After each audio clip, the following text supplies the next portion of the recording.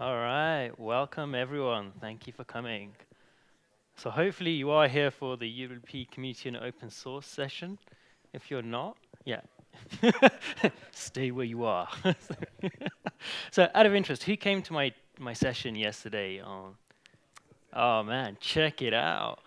Clearly I did something right. Uh, so yeah, I, I, love you guys. Thank you for coming. For the rest of you that didn't come to my session, uh, Facebook status is uh, complicated. Uh, hopefully by the end of today, that'll change and we'll all be friends. Yay. So when doing this title, I think it was kind of interesting because I think if we look about five years ago, who would have guessed a Microsoftie would be standing up here talking about open source? it's, it's kind of, I chuckled to myself. I was writing the title. I was like, oh, no, I'm really going to say this. Uh, so yeah, so basically, I want to talk to you a bit, bit, about what we do at Microsoft around open source, and in particular, UWP. Um, so folks, my name is Shen Chauhan. I think most of you already know me. So you know the rules around my Twitter feed. Great stuff. Please tweet it. Take photos. If it's terrible, please don't tweet it. Um, my manager will have a heart attack. Um, but hopefully that will not be the case. So let's move on. So this, in 2014, was probably the biggest shock to most of you, right? You're like, what the hell? Wow, Microsoft, how have you hit the top? Uh, who here predicted in 2014 this is where we'd be? I like your honesty. like everyone's like, nope. Uh, so yeah, so the good news is, is that you know we're still heavily investing in open source, and we firmly believe that it's it's a it's a great thing, uh, not just for us, but for the community too. And um, I just thought it'd be great to show you, like, I know it says we have 16,000 plus in, in 2014, so it's grown, um, but the number of contributors. But I thought I would present just maybe a few slides demonstrating some of the projects that you may be using and not maybe realize they're open source. Some of you will do.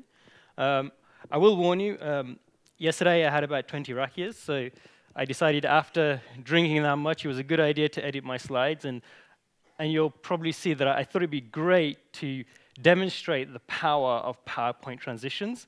Uh, so let's just have a quick walkthrough and show you just some of the open source stuff that Microsoft is. So, so as you, you're like, if you think that's cool, wait till you get towards the end. You feel free to, you know, round of applause if you really like it. It's, it's great feedback for the PowerPoint team. Uh, you're going to be clapping a lot. so, .NET Framework. I'm sure everyone knows that one. MS Build. By the way, the honeycomb is one of my favorites, They just so you know. Um, I thought I'd bring it up there earlier, but there's the killer ones coming at the end. MS Build, so I'm sure you all know that too. TypeScript.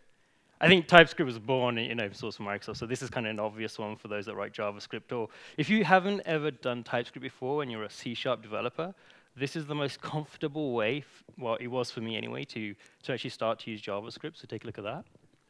That's all open source. Visual Studio Code. Don't know if people knew about code being open source too, so that's all on GitHub. And a few claps for that transition, I see. Oh yeah, check it out. PowerShell. I'm sort of wishing they had ones like with the 3D glasses so you guys could really feel things flying at you. Uh, PowerShell, another very popular one.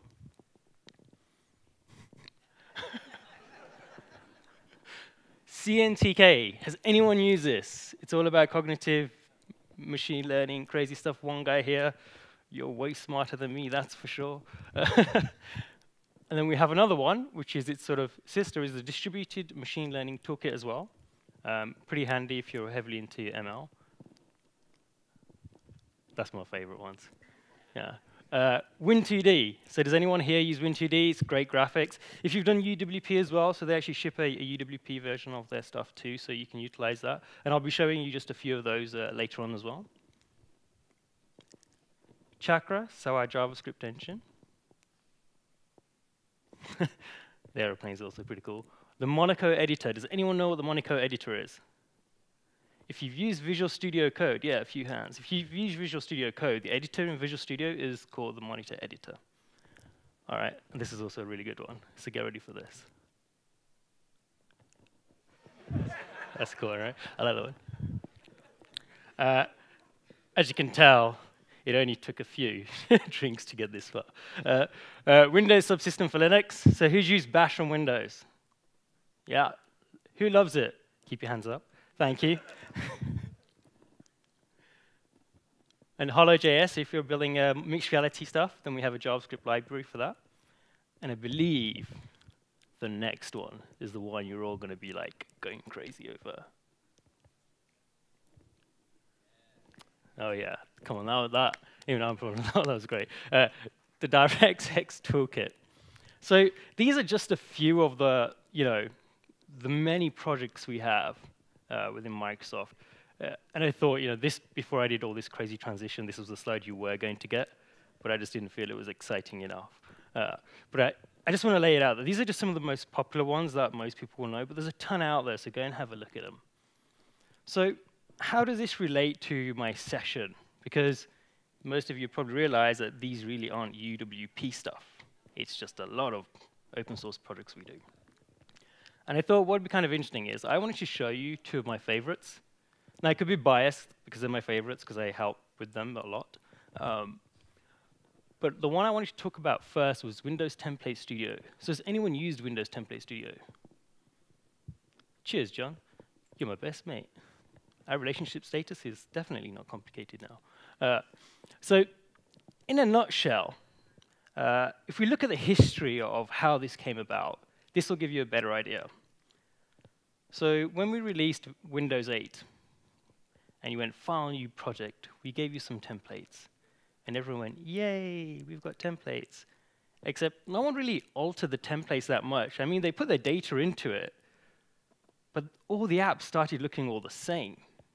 And we thought, oh, this is not really good because people aren't differentiating. People think that we're really strict and corporate Microsoft, and there's only one way to build an app, and that's with our templates. So do you know what our solution was with UWP? We gave you no templates. And do you know what happened then? Everyone went, what do we do? We can't do this. And we had all sorts of fun things, people trying to basically copy and paste it from the Windows 8.1 and move it in. And we're like, no, don't do that. That's not what it's about. Um, and then we thought, how can we fix this? What is the best way to make sure that we give you the freedom to build the app that you want, but at the same time give you some guidance so you're not just left with an open canvas thinking, okay, now what, Microsoft, thank you very much. This is not a good move. So we introduced Windows Template Studio. And with the help of some of our MVPs, so do you guys know what a Microsoft MVP is? Microsoft Value Professional. Do we have a few in the room? Any in the room? No? They probably already know this stuff, so my talk's not going to be that interesting for them, which makes sense. Uh, MVPs basically are people that we value as professionals. They tell us when they don't like things, um, a lot, uh, but they also tell us when things are going great, and they also help in the community efforts that we have. So this is just one of the things that they did. So let me basically give you a quick demo. And, and by the way, this session is predominantly demos. You've already seen on my slides, pretty much. I've got maybe two more. Um, however, as I caveated before, when you have a, a live coding demo, uh, things most likely will go wrong. Um, so let's start with getting you to a website. Speaking of going wrong, there we go.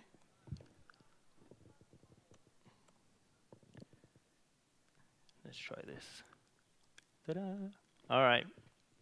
So I'm at the the Windows Template Studio installation page. This ships as a VSIX, so it's a Visual Studio extension. Um, I'm sure many of you have reinstalled Visual Studio extensions, so you know it's a simple case of hitting that big download button and then next, next install, and Visual Studio will do its magic as long as it's not running. Um, one thing to call out here is that it's a really, really popular thing. So you can see here, it's got about 168,000 downloads. The 168,000 downloads was from our build timeframe, which is in May. So you're talking roughly about seven months. So if I'm looking at the maths, I mean, I've probably got an app here that can help me with this. So, oh my God, the history from my last session. Can you believe it? Oh, it's so useful. So we're going to do what? Give me a number. so, so we're roughly looking around like 24,000 downloads a month, which is pretty, which is pretty good, right? So if you think about it, over a year, you're talking what 275-ish thousand downloads, uh, and know that this is this is just a, a one-time Visual Studio install, so it's not every time someone decides to use it. Uh, what I always find interesting here is, as well, like if you look down, that they always give you nice screenshots, which is always really handy. Um, but what's interesting for me is some of the ratings and reviews. Uh, so I don't know, sometimes when you read ratings and reviews, they make you chuckle a little bit. Um, so there's one definitely here which I thought was wor a worthy mention. So you can see here, makes my life so much easier now. Even Donald Trump would love this. So based on that premise, if Donald Trump likes Windows Template Studio, there is no reason for you guys not to love this thing. So, so let me show you what this is. Okay, so I've already installed it on my machine, uh, wanting to save some time here. And I'm just going to go over to my Visual Studio instance. And what you'll notice now is when I do file new, file new project, there's a new thing called Windows Template Studio. Ooh, it's the magical one. Notice in the, Windows Universal. So I'm going to select this. I'm going to give my app a real cool name like App1. Uh, probably don't need a GitHub. Sorry? No, no, we don't do Pro. Well, we do Ultimate. Um, So, we're going to use App 1 Ultimate Home Edition Pro. Service Pack 1. All right, so I'm going to hit OK on this. Now, normally, what would happen is you just be given a project with main page, and you know, if it's class library, class 1, which, as we all know, everyone deletes. Um, but this time, I'm presented with this beautiful thing. What is this beautiful thing, you ask? It's a wizard. Yes. So, so let me walk you through what this wizard does. So we have the traditional blank application for those who feel that they don't need any help and would rather just show off to the rest of the world that they don't need any help. We have the pivot and tabs, very traditional, you know, the usual menu at the top and you can swipe and do all the magic. We have the navigation pane, ooh, otherwise known as the hamburger menu to the rest of us. Um, and this is kind of interesting because what you've noticed is we no longer just have the simple shove everything in the code behind. Uh, some people here like to use frameworks. Anyone here use MVVM? Quite a few of you. Any of you use MVVM Light? Cool. MVVM Basic? Fantastic. Caliburn? Oh, yeah, I never used that one either. Uh, so MVVM Light is the one I always use, to be honest. So I'm going to select next. Now guess what happens when I hit next? No one? Sorry? Another page? Crash. So, look, I don't know who invited you to my session. no, it will not crash. See, told you. All right, so what I have here is just the basics of now creating a project. Now, normally you're just presented with a main page, but with Windows Template Studio, they do a really nice thing. They say, hey, you know what? You're going to want more than a main page, hopefully. Uh, and with that, why don't you go and choose the options you want? So in this case, I probably will want a blank page. And you can see here where it says page is what I've got. So I'm going to say blank page. I'm going to call this page one, uh, just because that's as exciting as I can get. Um, settings, we all want a settings. Yeah, we'll have one of those. Web view, mm, media, no. Master details, yes. The grid, I probably don't need a grid. Charting, well, since this is hosted, you know, with our friends with Telerik outside, um, please go and check out some of their controls if you're interested in, in, what you see here. But you'll see here that as I hit the I, that actually this is a community contribution. This, this isn't something that's come directly from Microsoft. This is something that someone in the community has gone, you know what, I really need these red charts in this template studio, so let's go and add them. Uh, so yeah, let's go and add that. That's going to be pretty cool. Shall we have a map? Does everyone know where they are? All right. I'll take that as a yes. Uh, and a camera, because everyone loves selfies. Cool.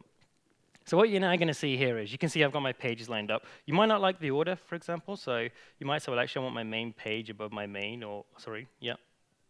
Let's just move that back. So you can have a play around with that, and you can delete stuff. And I'm going to hit next. Does anyone know what happens when I hit next? All right, the guy that keeps saying it's going to crash. Ye of little faith. Uh, So I get this. And what it's going to ask me here is, so what features would I like in my application? So suspend and resume, like that's a given. Do I have a background task? No, uh, only in the foreground. And this is kind of cool, so I can have a toast notification. I'll add one of those in. I don't really want an Azure notification in this case because I haven't set that up. Um, I want a live tile. When the app first runs, yeah, I'll take one of those. This is like shopping, isn't it? You just keep hitting plus, plus, plus. The great thing is everything is free for everybody. Um, and URI scheme, so that's basically, um, you can do protocol activation, so I can launch my app with maybe many parameters and, and do it basically in a, a, deep dive directly into the app without having to launch it in uh, various places. So does anyone know what happens when I hit create? And if someone says crash, some.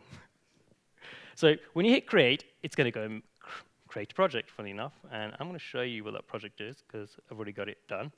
Um, what it does is it'll create this project, it'll pull down all the NuGet packages, it'll set up all the pages, and you can see here you'll get your traditional MVVM Light, because that was the option that I chose.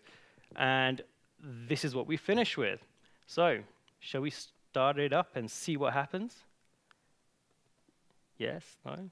No one really cares at this point? Yeah, yeah. Man, you guys are so much quieter today. I feel like the calculator, I peaked then. I should have done that session today. So I'm going to run this up. So the good news is you don't just get a blank application anymore. You get this. What is this? So this is my first welcome screen. If you remember, I hit the plus and I said, hey, give me a welcome screen the first time I, I use this app. So it conveniently reminds you to replace the contents of this dialog. And if I find that people have used Windows Template Studio and have not replaced this dialog, I will hunt you down. I promise you. Uh, I'll hit OK. Uh, notice I also had the toast there as well come out. And this is my main page. Conveniently, it says main, so you know. Page one, the chart, the Telerik chart. Ooh. Uh, okay. We have my master details, which has pretty much a bunch of lorem ipsum. We have the map, so we know where we are. So we'd like to access your precise location. Yes. So clearly, this is in uh, Seattle right now, and hopefully, with the Wi-Fi kicking in, boom, Apparently, that's where we are. I have no way of verifying that because I have no idea where I am. Um, but yes, I'm somewhere in an IMAX theater. That looks right. Uh, and the final thing here, the camera. So let's uh, give this a whirl. I'd like to access my microphone. Sure, why not? All right, guys. Your turn. Well, hey, okay, cool. So I think we can now determine that my app works, and for that person, didn't crash. Um, but the thing is, hey, not yet. Someone's already seen this demo before and knows what's going to happen. so, in a nutshell, this is what it does. Now, I think it's really cool. I don't know what you guys think. Would you use this? Yeah, cool. Would you contribute to this? That's the question. Who here already contributes to open source projects? A few of you? Who would like to contribute to more open source projects? Do you see what I'm getting at here? Because if you would like to contribute to more open source projects, I have just one of the too many projects you'd be fantastic at contri contributing to. So I'm going to go here to the GitHub. And notice here that actually we've started doing a, we have a particular trend now, uh, especially on the UWP stuff around when you're going to contribute, how you do that. Uh, we don't firmly believe in just dropping in random code and thinking, oh, yeah, this is great, I'll just move it across. We have some principles. It all sounds very official when we say principles. It really isn't. We just made it up. Uh, so let me go down here. Okay. Generated templates will be kept simple. Yes, because we don't like complicated stuff. So if anyone tries to submit anything with an Ultimate Home Edition Pro, we will have words with you. um, and I think this is the main point. Regardless of whether you're contributing or using, just remember that this is a starting point. This is not the finishing point. So don't treat it as this, now my application's all done with all this lorem ipsum. Maybe I should just go ahead and submit it to the store. Uh, that's not what we're after. We're after, you know, to get you up and going and be as productive as possible, as quickly as possible. And this is the one thing that we're trying to do here. Okay. And then I think you sort of get the rest. And the main thing here is we all say follow the .NET Core coding style guidelines. So with that, what happens now when if you looked at the map, you noticed one thing? Did anyone notice something with the map? Shall I bring it up again? Yeah, someone noticed I needed a token. So as a developer, the, the most difficult thing is to know what you need to do once you've generated this. Well, thankfully, they've done a really great job here. So now if you go to the task list, because I selected pretty much everything, I got a lot of work to do, basically.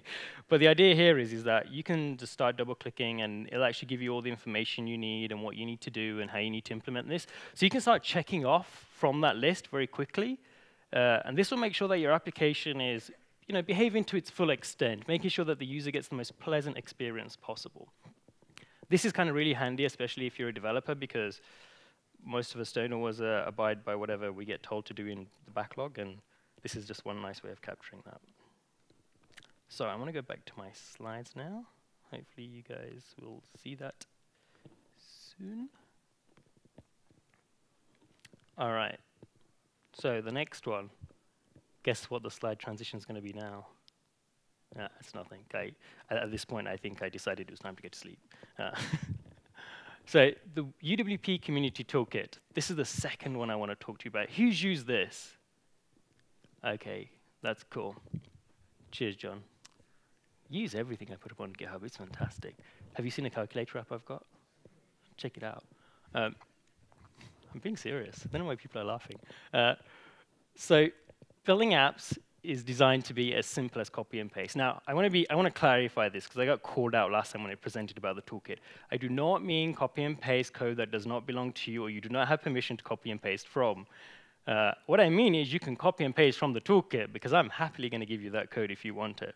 Uh, so it's as easy as copy and pasting from the toolkit, uh, just, to be, just to be clear here. Uh, you can go here, the aka.ms UWP toolkit, uh, and on Twitter it's got a hashtag as well. So before I demo the toolkit, I'll give you a brief history about how this one started, because we just don't randomly start a repository up. again, it was from our MVPs. What we realized was is that UWP is still an, it's an evolving platform, right? So there's still loads of things that we're still working on and building. But one of the key things we wanted to make sure was that we could help people develop their applications the way they wanted to, you know, and not be limited or restricted by things. And we had all our MVPs building out various controls and libraries, and then carrying it around in their, in, you know, in their version of their toolkit, so my MVP toolkit, and no one was really sharing that information. There was no way to collate all that great you know, pieces of code and bring them in one central spot. And this is how this was basically born. We said to the, the MVPs, how about we start an open source repository and we'll, we'll be able to host for it. You guys put your controls in, and then we'll let the public also add their controls too. And that's how this was born. So let's give you a quick demo of this one. So I'm going to take my, let's do this. I'm going to show you I think I'll probably show you the sample app first. So the one thing you can do here is, yeah, it takes a different approach than what you would do, um, usually from you know the Windows Template Studio, for example. So in this case, we have a sample app. And the idea of the sample app, and I'll, show you what the sample app does in a minute, um, but it allows you to play with all the controls in the library uh, before you actually have to use them. Uh, this is kind of a nice thing because as a developer, sometimes it's always difficult to read the documentation, understand how things work, and you see screenshots of what things should look like, but you really never know what to put in. Um, and this is where the sample app really does a great job. Uh, and again, the screenshots and stuff, but I want to show you the reviews because if you thought the last review was uh, impressive on Template Studio, let's go to, and notice as well, this actually has Great rating, 4.9. Whoever that one, two people are that gave us two stars, we're in the process of finding them. They will be dealt with, don't worry. So there's one here. Uh, let's see. Oh, I think it's on the last one because it's initially when we launched. Here you go. Apparently, God had sent this application. Now, I mean, God sent it. You have no reason not to use it as well, right? I mean, like, at some point in your life, God will ask you, Did you use the toolkit? and you can't lie.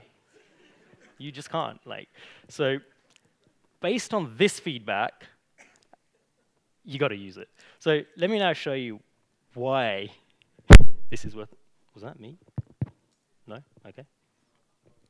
Oh, okay. I sometimes get confused with these Britney Spears microphones. It's a. Uh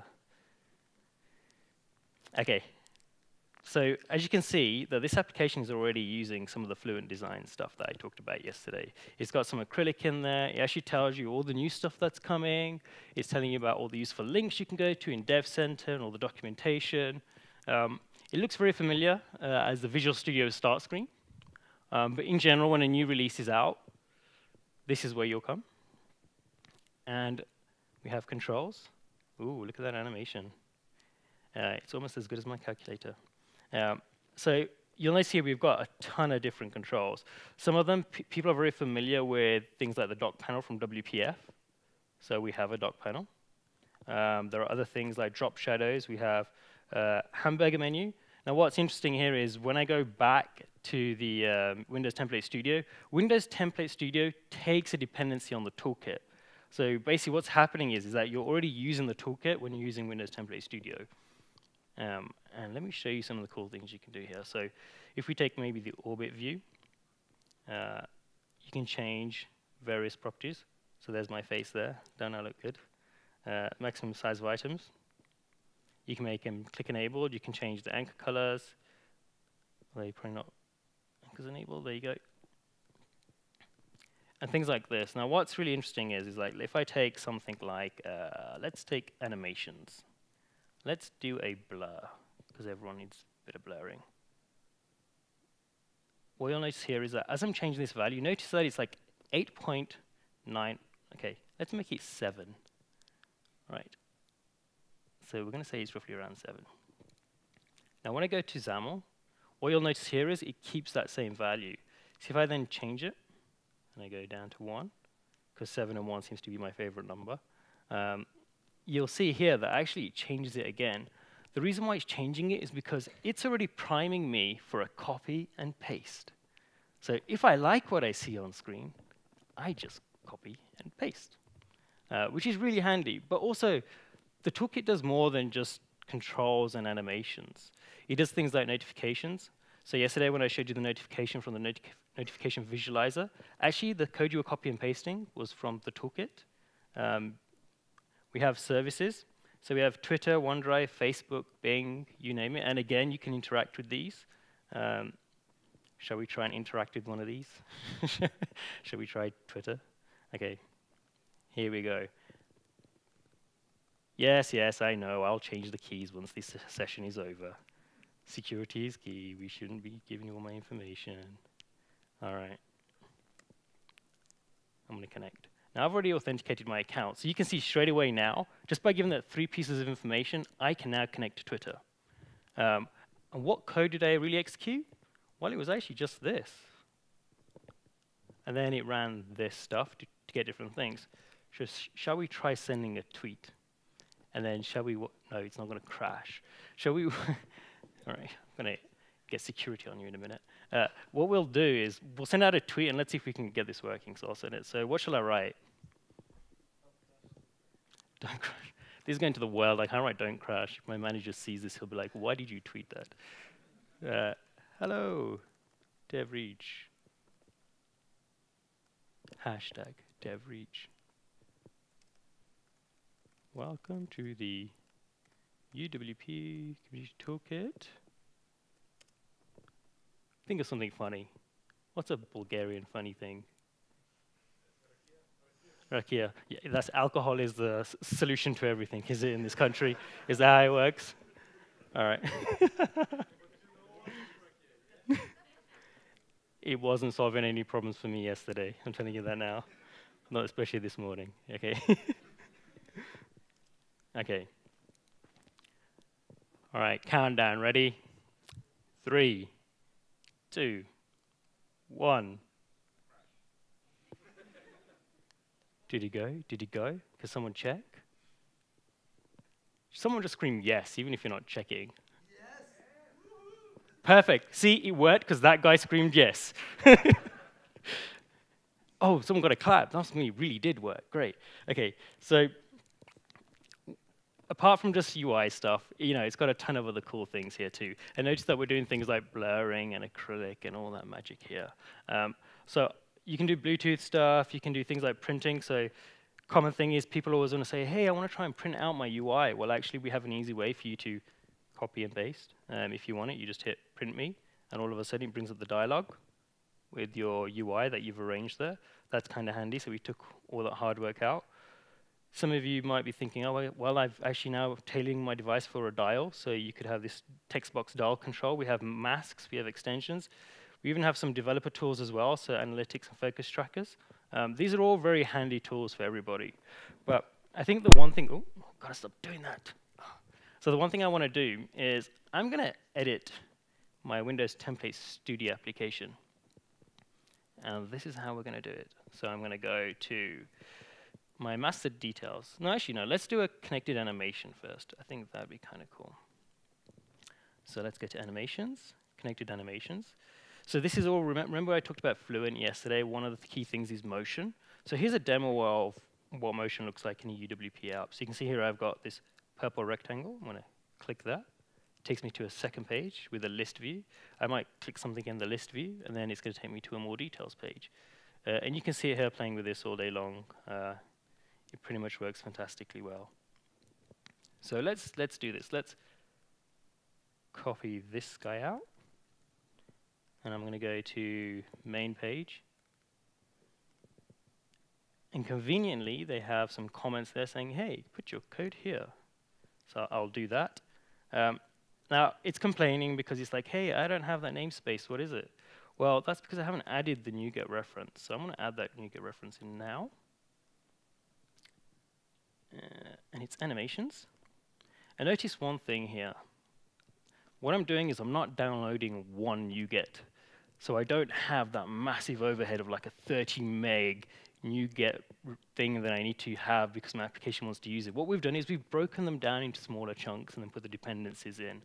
So the nice thing about this is that if you're building an application, you're only taking the bits you need. Um, and it sort of saves you a lot, especially on like load times and stuff where a lot of these get loaded. So in this case, I'm going to go and use the animations, which you can see already has UI Win2D because we do blurring and things. Uh, and I'm going to install. Yes. Oh, do I accept? Do I trust Microsoft? Yes. I like the way some of you are laughing like you really shouldn't. Okay, cool, we're done. So now I've got animations in. Now I've just got to add the namespace to my XAML. So I'm going to go back here, and the wonderful people at the toolkit have given me a sample that I can just copy and paste. Now, I would warn you that if you've not done copy and paste that often, you should practice. Uh, copy and pasting in the wrong place can be pretty tragic. Uh, trust me, I know. Um, no, I genuinely do know. Yeah, After using the toolkit, I've become a professional. Um, so now what I've done is I've got my, my one rectangle on the main page, but I also want to make sure that when I go to one of the other pages on the hamburger, like maybe the page one that I created earlier, I want to make sure that from there, I can see that rectangle get bigger, and maybe we'll just add some lorem ipsum blur text. So I'm just going to basically take this version and put it in here. So I'm going to say page two. Uh, we'll take that copy. And then again, I'm going to put it in here. I'm actually not going to put this list view in because I don't have any data for it. And do we know why this is squiggling? Yeah, Shen, we do. Because you said earlier, it's here. All right, so I'm going to grab this. You guys are probably thinking, man, I came to a talk and all he's doing is copy and pasting. Uh, but this is how you're going to do it. okay, so now I'm going to hit play. And now, no, it won't crash. It, it's going to load in my application. And what we should hopefully see is a purple rectangle. And when I click on page one in the navigation, what will happen is it'll do a connected animation, and you, it'll be so seamless you won't even realize that I've done the page swap. So here we go. So as I go here, okay, cool. Isn't that cool? Woohoo! Yeah, I like that person. so you can see here, it's really easy to do on a connected animation. Now, there are other things that, you know, that I might want to do. So if I have a look, for instance, at the master details, I might decide that order total, for example, I probably don't represent that as a number. Um, sometimes I want to use something else. So how about in this case, we just quickly look through the toolkit. And I notice there it's like 2,490, so it's, it's kind of high. Let's just see what, then the highest is like 2,400. Yeah. Okay. So I'm going to go in the toolkit. And I'm going to go to controls. Which one do we like the look of? I think this one. Okay, so again, you can have a play here. Um, this is my favorite thing. Like, I know that there's somebody's job to decide the colors of things. But I'm telling you right now, like, whoever has a lawn, lawn green, this color, clearly has issues. Because no lawn is ever that radioactive green. You know, like, how many people have seen grass that green? Um, and then my other favorite, and, and, this is how you know it gets even more exciting. My talk is really exciting at this point when I tell you about, oh yeah, old lace. Old lace. Who would have thought old lace is that color? I did, yeah, that's the thing, I changed it. Like, see?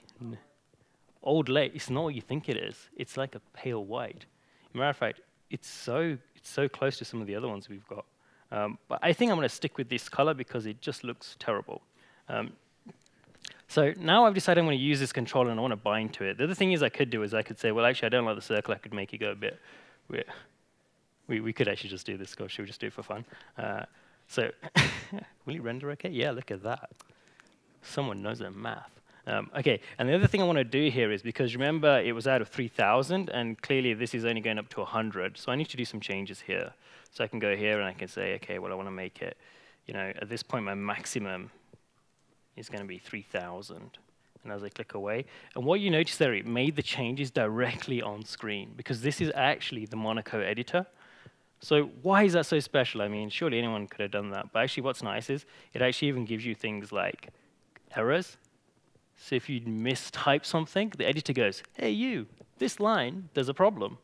Uh, and you can just go ahead and, and fix the problem. Uh, that was probably the only one thing I didn't copy and paste. Um, but the, the, nice thing here is because you're, you know, you're using the same engine that Visual Studio Code is using, you sort of almost have that, that guarantee that things are just going to work how you expect them to. So I'm going to copy my radial progress. I'm going to go here. And I'm going to go to, oh, I don't want to go to main page. Where do I want to go? I want to go to, let's stop this. I want to go to mas Master Details Details Control, Home Ultimate Pro Edition. Okay. So thankfully, this is just all in a stack panel, so it doesn't look too complicated. So I should just be able to paste that in there. Uh, I'm going to take this because I want to take the order total away. And I'm going to go and put it in the value column. Oh, make sure I got. Cool. And he's going to want the controls namespace. So I'm going to take that too. And we're going to paste it in there.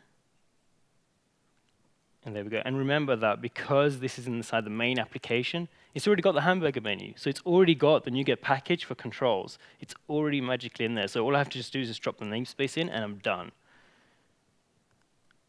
So who thinks this is going to work? Man, really, guys? Like, you haven't seen a single one of my demos go wrong yet, and you're all like, still not confident? All right. Here we go. Thanks for your support. I really enjoy having you as an audience. All right.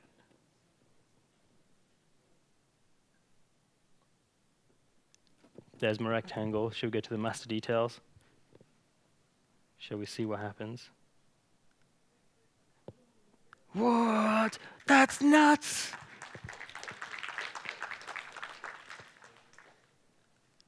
And look at that. Oh, man. almost as good as my calculator. Um, so thank you for applauding my copy and pasting abilities. I really appreciate that. That was one of, one of the many things in my career that I strived to do when I was young.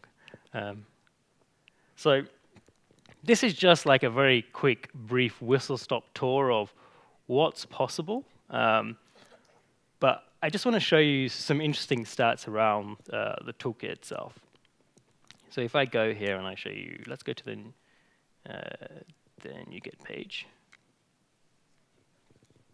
So one thing to notice here is it's got a ton of downloads.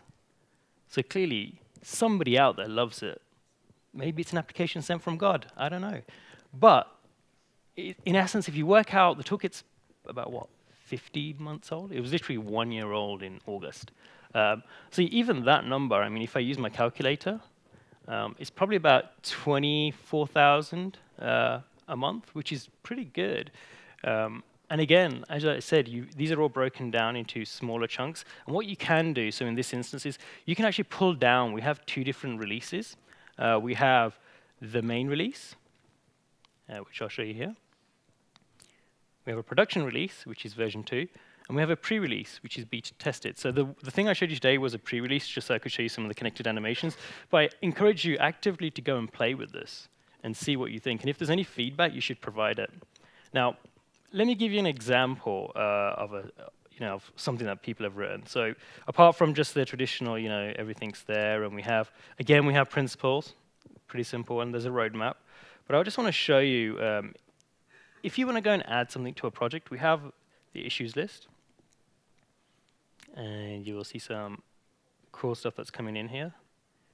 But I want to show you to what extent people are passionate about this project. Um, so I'm going to show you the tab control. Right. Now, I know you can see the number, but do you really think you would get 94 comments on a tab control? It all started off fantastically well. This gentleman here gave screenshots and everything with dimensions and said, I think this is how we should propose it. No, somebody said, this is not how I feel, you should do this control. And they're like, what do you mean? And it goes on, they have a conversation. It's, it's pretty good. I mean, and then some of the Microsoft guys get involved. Um, and you can see here that people are very passionate about how this works. Then we have some of the folks from engineering get involved. Um, we have some more people, and it keeps going. Someone just thinks, yep, fine, fair. Uh, it keeps going. We have some random person with an avatar of Avatar. um, say, yeah, I got an interesting one for you. It keeps going. Then the avatar dude with the avatar carries on. And then all of a sudden, from nowhere, someone goes, hey, you know what? There's another way to implement this. I'm like, what? He's like, yeah, look, OneNote do it. Yeah, I'm not sure that's right, though. Um, okay, well, what else happens? And then again, someone else goes, oh, there's loads of conversation. And then look, I've got this cool demo you can use. Do you think this would be perfect for this solution? And then it's, about, it's, it's great because it's all about various you know, players in the sport. And someone goes, ah, I'm not sure this is right. And then this is how Windows is doing it. Yes, I like that idea.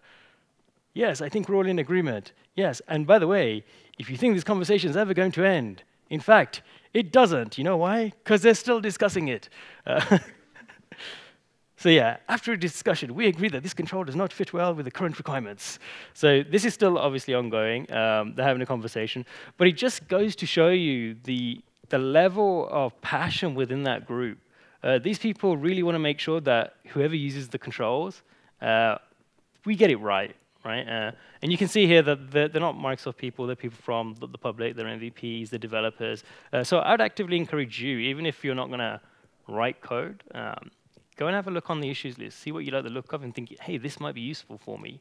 Uh, go and comment, give us feedback, let us know how all this works. Um, because they're striving to make it the best. And then once we look at what's in the toolkit, what will end up happening is, as the platform starts evolving, they'll take a look at the toolkit and say, hey, you know what things are doing well in the toolkit? Maybe we should make this a platform control. Maybe we should have uh, something that you know Microsoft can say, well, yes, this is now on the platform, so you don't need to rely on a, a third-party toolkit for this particular piece. Uh, and that's what we've done. So the hamburger control is a classic example of that. So now we have the navigation view. The toolkit actually has a way of helping developers move off from the toolkit onto the platform. So it's really useful for you. So who's going to use the toolkit?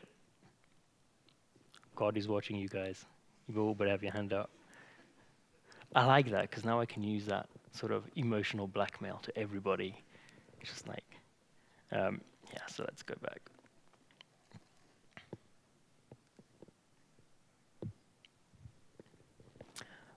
Alrighty, so with that, I want to say thanks for listening. Um, hopefully you enjoyed it. If you liked it, this. If you don't like it, yeah, you still got to do this. Uh, uh, but appreciate all the feedback, and hopefully you have a great rest of the day. I'm here for questions if you guys need it, because I know I've got 10 minutes. Cool, thank you.